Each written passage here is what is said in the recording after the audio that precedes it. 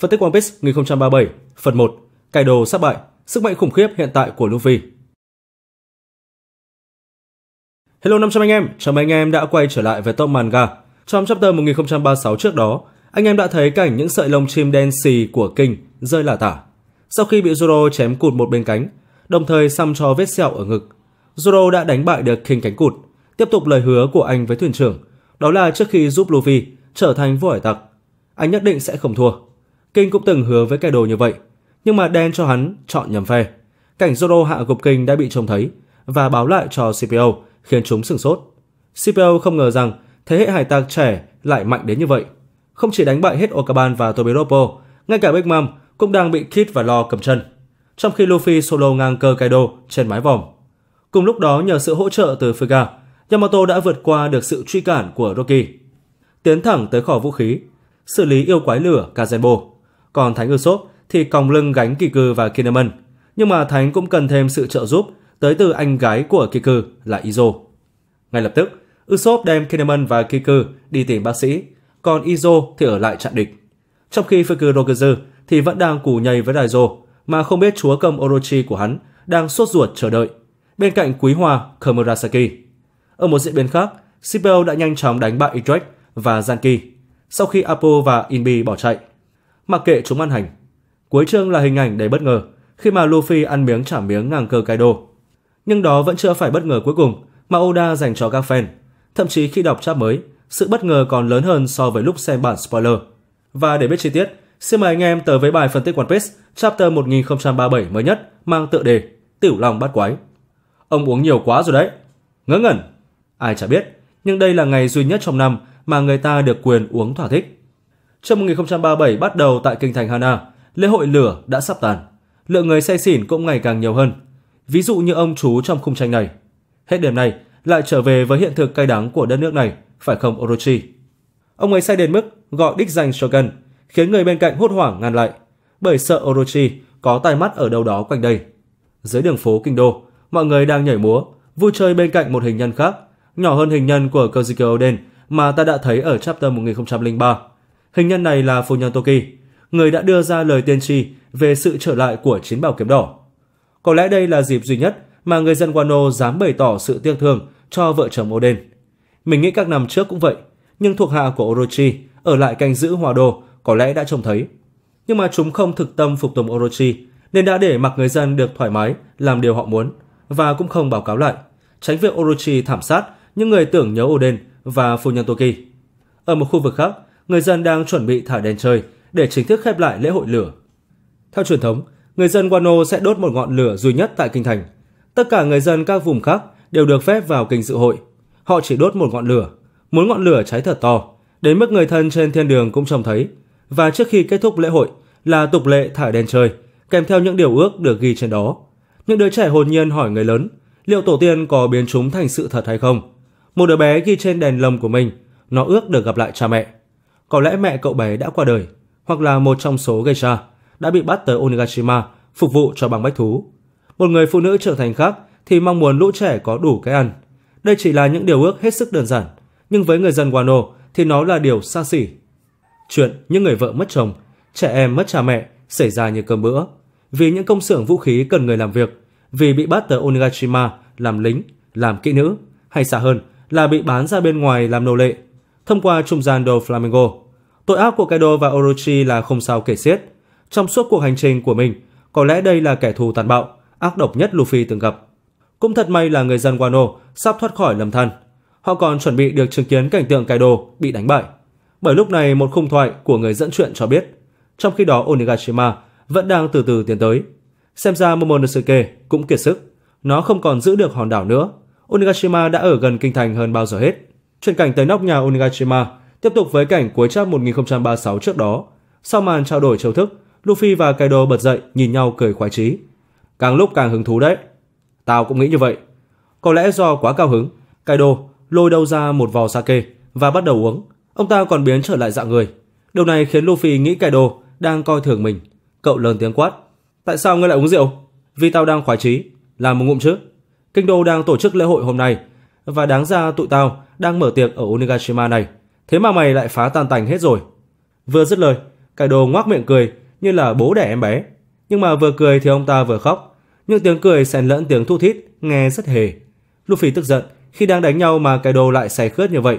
Còn nhớ khi Zoro cướp được mấy vỏ rượu của bọn gác cổng Tori, Lu đã ngăn bằng mũ rơm uống mừng sự tham gia của Chimbe.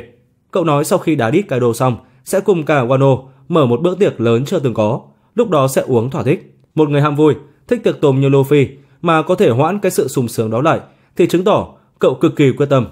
Chính vì thế, Luffy không cho phép đối thủ của mình chiến đấu cợt nhả. Cậu ném cái áo choàng lao vào Kaido, muốn đấm cho ông ta tỉnh rượu. Tốt nhất, ngươi đừng lấy đó làm cái cớ khi thua đấy. Thằng ngu. Say không làm tao yếu đi, và tao cũng công nhận mày rất mạnh. Kaido quả thực là một người có nội tâm phức tạp, nhưng đồng thời cũng là đối thủ thấu hiểu Luffy nhất. Dường như Luffy và Kaido đọc được tâm tư của nhau. Điều Luffy nói cũng là thứ Kaido định nói, và Kaido cũng biết Luffy đang nghĩ gì. Kaido giải thích, ông ta đã công nhận thực lực của Lu và cho cậu biết, say rượu thì mình cũng không bị yếu đi, mà đây là môn võ công độc môn, chỉ có thể sử dụng khi say. Kaido chuẩn bị tung hết sức mạnh còn lại ra quyết thắng bại với Luffy. Luffy thổi phồng cánh tay, nhưng chỉ đấm thường với Gear Third bọc haki vũ trang. Cậu không phải loại người thích nhân cơ hội mà giành chiến thắng. Luffy chỉ sử dụng haki báo vương khi nào Kaido bật dạng lai. Cho nên anh em không thấy các tia sét màu đen phóng ra.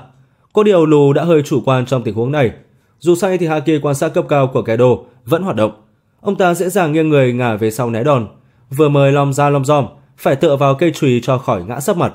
Mà giờ Kaido đã di chuyển nhanh như chớp. Do quán tính, Luffy tự bay tới chỗ Kaido mà không thể dừng lại. Ông ta sử dụng tiểu long bắt quái để bắt lù trả giá cho sai lầm vừa rồi. Té ra Kaido không chủ quan khinh địch, kẻ tự cao tự đại vừa rồi lại là Luffy. Mọi sự ngu dốt đều phải trả giá bằng tiền mặt, cụ thể là một truy thẳng vào mặt tiền. Kaido đang ở chế độ say xỉn vui vẻ. Ngay khi Luffy rơi vào tầm tấn công, ông ta lập tức chuyển sang dạng lai. Nếu so sánh Kaido lúc này với chính ông ta từ chap 1036 trở về trước, thì phần ngực, vai và hai cánh tay đều to hơn hẳn. Nó là dấu hiệu cho thấy cơ bắp đã được tăng cường. Cơ thể to lớn có lẽ sẽ làm Kaido chậm đi đôi chút, nhưng sức mạnh thì lại tăng vọt. Với đối thủ không phòng bị như này thì chẳng cần quan tâm tới tốc độ làm gì, Kaido quyết định dồn 100% sức mạnh vào đòn tấn công. Ông ta bổ thẳng vào mặt Luffy với chiêu thức Ragnarok. Cú nện đã phá hủy trần nhà, khiến gạch đá rơi xuống sảnh chính như mưa rào. Tuy nhiên Luffy vẫn bình an vô sự sau cú đánh vừa xong. Cậu chỉ chảy máu ở trán và đang ôm đầu kêu đau. Đọc đến đây cứ nghĩ Lù phải trọng thương gì đó, nhưng mà không hiểu cái quái gì đang diễn ra nữa. Mình sẽ lấy ví dụ so sánh cho anh em dễ hình dung. Vẫn là chiều Ragnarok của Kaido ở chapter 1009. Ông ta nhỏ con hơn chap này. Cú nện chỉ làm nứt mặt đất, chứ không phá hủy hẳn mái vòm. Thế nhưng nó cũng đủ cho Lù bất tỉnh. Còn giờ ăn đòn nặng hơn mà Lù đứng dậy ngay. Đúng là ổ đà buff quá mạnh. Bảo Lù bây giờ ngang cơ Kaido thì chắc cũng không nói quá. Còn về phía Kaido, vụt được Lù một cái, tưởng nó ngất rồi. Ông ta chuyển sang dạng rồng và lan lộn trên mặt đất, khóc lóc ăn vạ. Kaido tự trách mình không thể bảo vệ nổi lâu đài, trong khi chính tay ông ta vừa góp phần phá hủy nó. Kaido đang thể hiện mình là trí phèo trong giới hải tặc. Nhưng mà haki quan sát của đồ phèo rất ghê. Ông ta vẫn đang bao quát toàn bộ đảo quỷ và biết hòn đảo lẫn lâu đài đã bị phá hủy mất một nửa. Quả nhân đẳng cấp tứ hoàng không làm chúng ta thất vọng.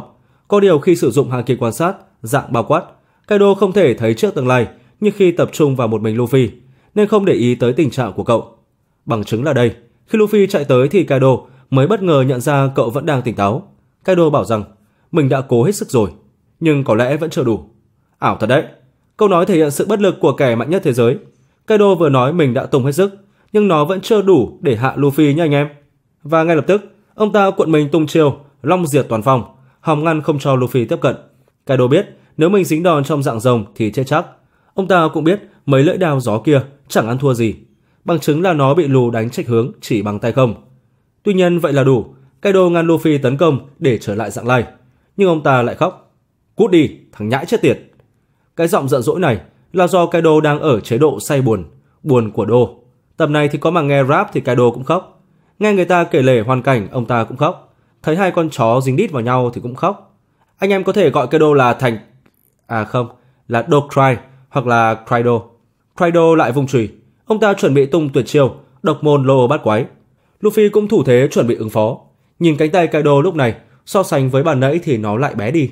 Ông ta rất tôn trọng Luffy. Kaido chỉ gồng cơ bắp khi chắc chắn đánh trúng. Còn Luffy thì rất nhanh, cơ bắp khổng lồ tuy mạnh nhưng ông ta sẽ chậm chạp hơn.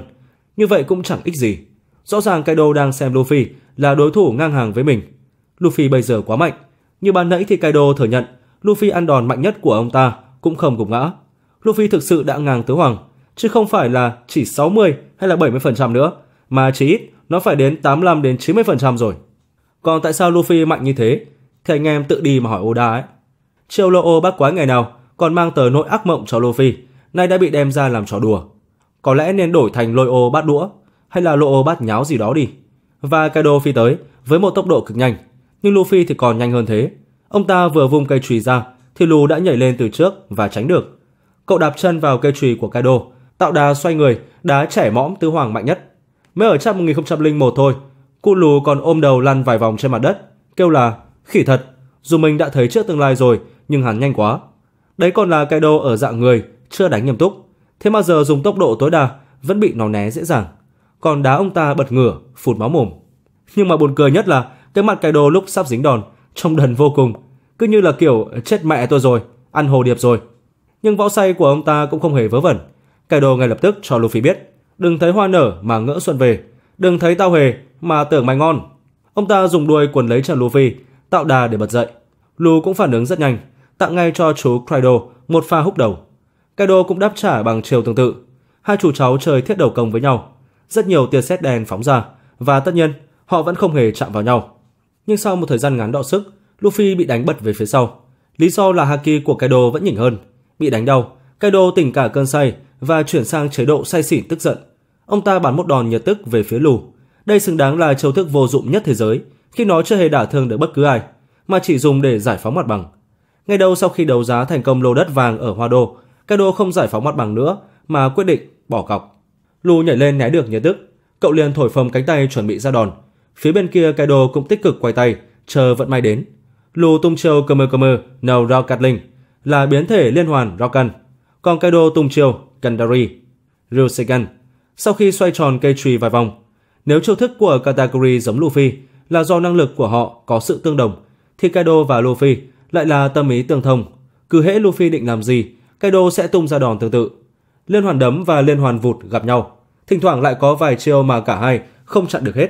Lu bị vụt vào mặt, Kaido thì cũng bị đấm méo mồm, không ai kém cạnh ai. Mặc dù trúng đòn nhưng họ vẫn chưa chịu dừng lại.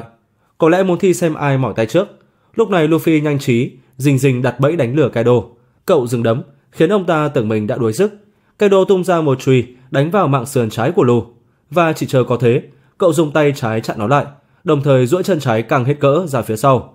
Luffy thổi phồng nó lên, biến cực phẩm tông lào thành hắc dép, và khi Kaido nhận ra thì đã quá trễ để thứ tha. Ông ta trợn mắt lên kinh hãi khi biết mình đã không còn gì phòng thủ. Luffy tung ra một cú đá thẳng vào bụng Kaido, khiến ông ta ói máu và hai mắt trắng dã. Trông Luffy với Kaido bây giờ không có vẻ gì là chênh lệch cả.